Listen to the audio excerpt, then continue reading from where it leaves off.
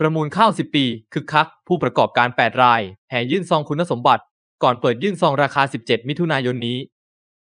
องค์การคลังสินค้า หรืออคส ได้เปิดให้ผู้ประกอบการที่สนใจ เข้าร่วมยื่นเอกสารคุณสมบัติการประมูลข้าวสารในสต็อกรัฐบาล จากคลังสินค้ากลางกิตติชัย หลัง 2 และคลังสินค้า บริษัทพูนผลเทรดดิ้งจำกัด หลัง 4 ชนิดข้าวหอมมะลิ 100%ชั้น 2จำนวนประมาณ 15,000 ตัน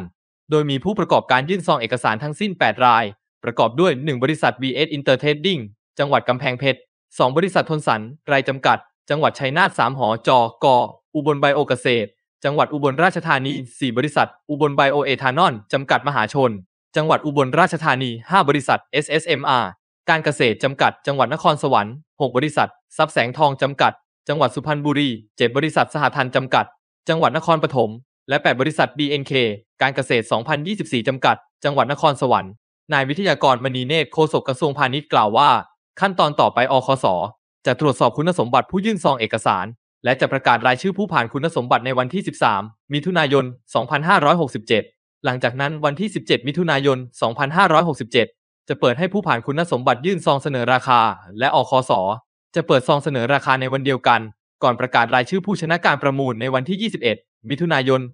2567 ต่อไป และการที่มีผู้ประกอบการมายื่นซองมากถึง 8 รายทำให้ข้อกังวลที่ว่าจะไม่มีผู้มายื่นซองคุณสมบัติ เพื่อประมูลข้าว จึงจบไป และคิดว่าทั้ง 8 ราย จะมายื่นซองเสนอราคาในวันที่ 17 มิถุนายนอย่างพร้อมเพรียงกัน ทั้งนี้ขอให้ประชาชนไม่ต้องกังวล เพราะข้าวที่ผู้ประมูลได้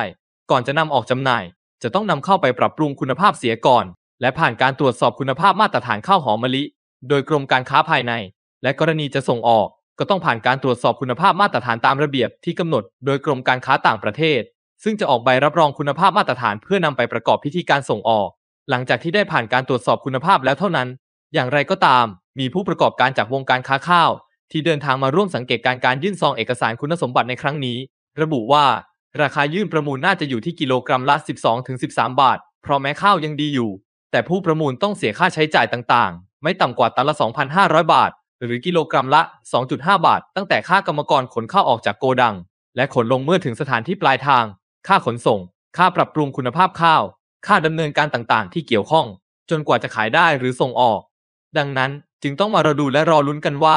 ราคาที่ยื่นประมูลซื้อจริง จะอยู่ที่ราคาเท่าไหร่ ในวันที่ 17 มิถุนายนที่จะถึงนี้